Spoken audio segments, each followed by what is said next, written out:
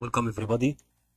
We are going to explain today about Editas stock. Okay, let's start going on this with easy way. Okay, how can we deal with this stock in one minute? And if you were uh, going to invest, just to see this, and if you were, if you was uh, buying the stock and you wanted to uh, sell it, let's see.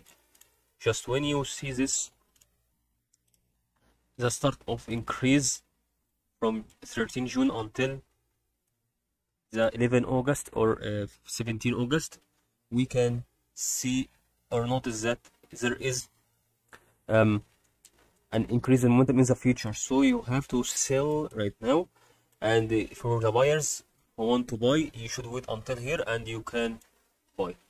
Also, you can see the see the um, seasons where the waves goes for example from 15 June to uh, 17 August let's see another one like this in 2021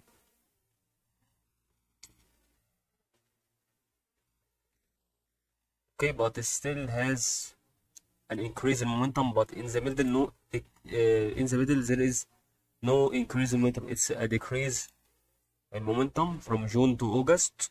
Okay so let's see it on 2020 okay. Okay actually it increased from June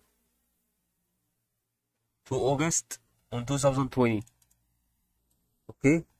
So when you want to see what's happening after August okay for example from August to October okay or November let's see let's see it from August to October. To the start of October. It will decrease in momentum. Also from August to October it decreases in momentum. So that um, that it has possibility of decreasing momentum. And I think that was the explanation or technical analysis of Editas stock today.